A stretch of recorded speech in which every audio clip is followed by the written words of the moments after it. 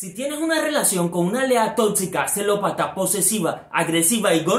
Lo primero que te recomiendo es que dejes a esa mal pero si tienes complejo mesiánico de rehabilitar gamina y sacrificarte para sentirte mejor persona, pues ni modo, de gente trastornada vivimos los psicólogos. Así que aquí van mis recomendaciones para sobrellevar la situación antes que el personaje te zampe un machetazo y te nieguen la denuncia por violencia de género porque existen 280 géneros y ninguno es el masculino. Lo primero que debes hacer es cargar con una tapa de olla y practicar los movimientos para escudarte de los machetazos. Lo segundo es que aunque no haya motivo para alterar a tu pareja, si es tóxica, siempre va a encontrar en su cabeza motivo para que sí. Si recibes una llamada y te pregunta ¿con quién estabas hablando? Dile que con los de Jamar, que les debe 9 cuotas y que te preste así sea 400 barras. Si te pregunta quién te escribió a WhatsApp, dile que los de la pirámide los negocios del señor y que también saque su cesantía para invertirlas. Si pretende prohibirte salir con tus amigos, invítala al culto del pastor Arrasola. Después que le quiten hasta el último peso, no le van a quedar ganas de acompañarte a una monda. Si hace comentarios negativos sobre tu apariencia física, dile quién te sacó esa ceja. No hay nada que derrumbe más rápido la frágil feminidad de una tóxica. Si no estás preparado económicamente para tener un hijo, lo primero que te recomiendo es usar anticonceptivos. Pero si eres de esos colombianos que cree que su deber es poblar el planeta como de lugar y ya tuviste un toxiquito con la personaje, estas son mis recomendaciones. Mándale la cuota en plátano, yuca, ñame, suero, queso, ropa para los Nider y págale directamente al colegio. Que tu sueldo no se vaya en la revista Natura y uñas potizas. O mejor, hazte cargo directamente del malparido Nider. Si te niegan la custodia, di que te identifica como mujer y se cagan porque te están discriminando. Si la tóxica mayor, la suegra, te acosa pidiéndote más plata, dile que el gobierno está dando viejitos en acción, pero solo si se mete en un asilo. Si se separan y quiere quitarte hasta el alma, mejor dónale todos tus bienes a Arrasola. A ese no le quita nada ni la mae. Y no olviden que con el código El Tornero obtienen 50% de descuento en cualquier montura en colgafas.com. Pueden ingresar su fórmula optométrica y están disponibles los lentes Transitions. Y en los comentarios del video anterior, Mario Rueda, el torneo no hace publicidad a colgafas.com automáticamente yo. Hoy en día la actualidad, actualmente, en la actualidad, actualmente, los videos de ahora no son como los de antes. Samuel Andrés Vázquez Forero. Ahora Familia del Sol sirve para la fría y para ser patrocinador del canal. Maravillosa jugada. JP Troll. A los cinco motocarros de Turbaco les ofende tu comentario. Angeli, todos esperamos sobrevivir a esta cuestión de COVID para ya no seguir montados en un palo de mango agarrando señal para la clase viral. John Felipe Soledad Sanabria. Ahora Turner lee comentario. Quiero aparecer.